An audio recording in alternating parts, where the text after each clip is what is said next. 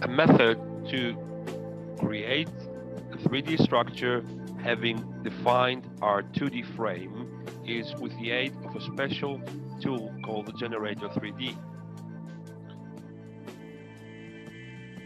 We initiate the Generator 3D, then we define a new name for our 3D model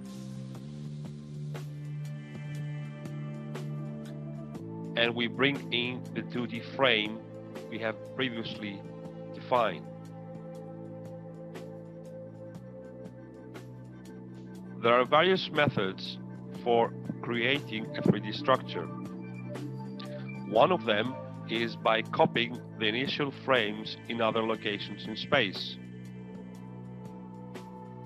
So we will request the creation of a second frame in 5000 millimeters, third in 10,000 millimeters, and a fourth in 15,000 millimeters.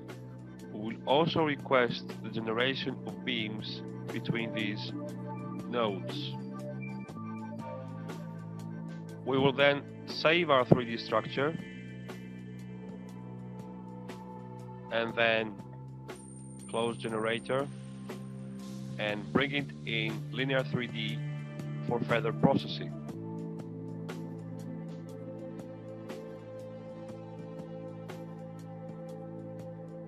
Everything that we have defined in the 2D frame has been copied to the other frames as well.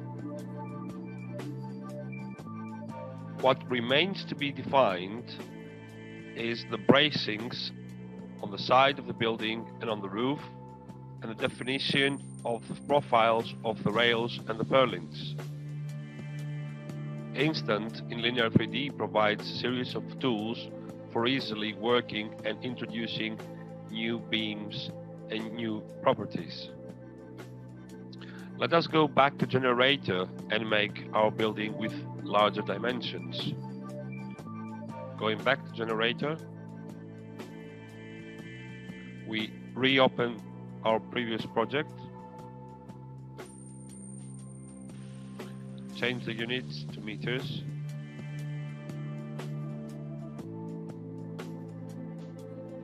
And redefine the distances between our frames.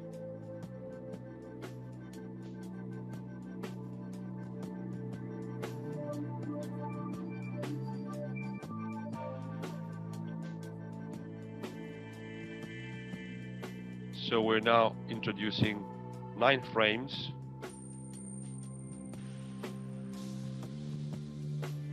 Save. Close the generator. And let's input back our new model. We shall now introduce bracings for the building. First, we will define some work areas in 3D, such as the roof, the left side of the building, the right side of the building, select the roof,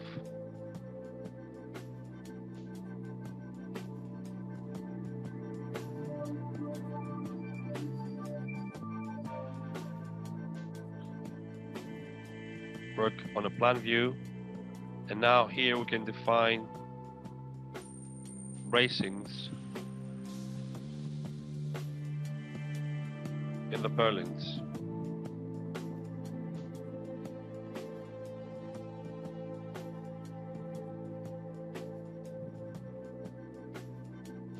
We will select and keep in our selection those bracings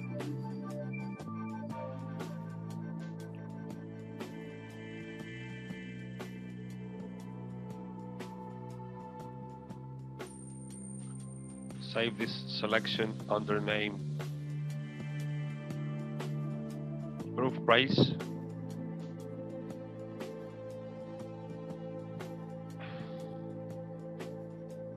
we can now turn to 3D view and we can copy our selected bracings by using the copy tool to a new location of 24 meters in the z-axis. Adding an extra frame is a very easy operation.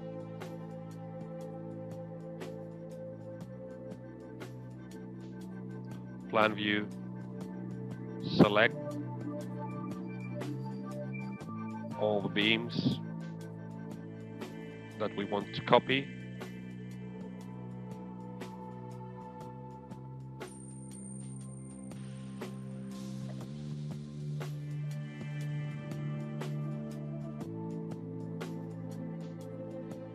As well as the new joints that we need to create.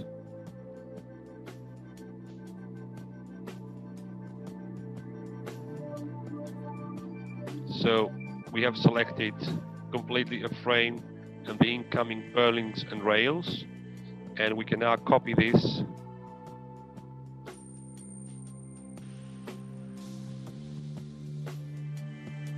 at distance 6 meters. We can now copy our bracing to our first frame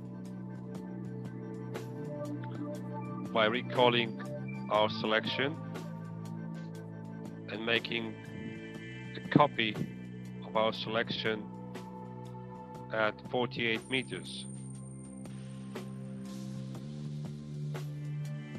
In the same method, we can work for our side bracings. So again, we're going to use the 3D cut tool for the left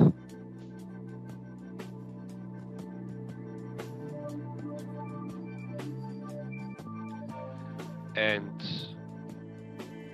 we can visualize it in 2D. So we can introduce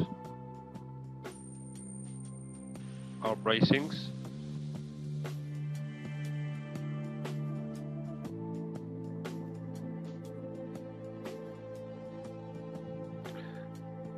And we can copy them to the right side by selecting them.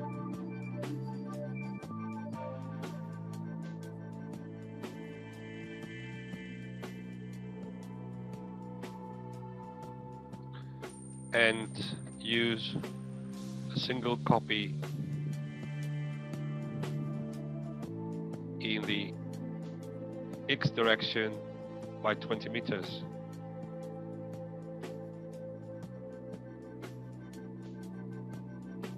Producing a two spans model is fairly easy. We enter the selection mode, then we select the beams and the nodes that we have to copy.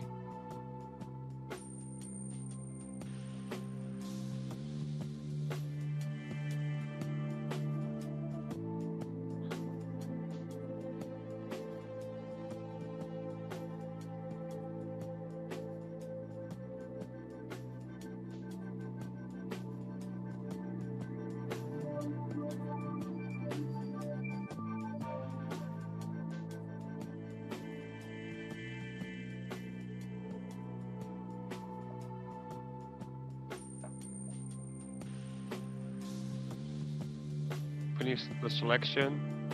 The span is 20 meters and I want the second one at uh, x distance of 20 meters.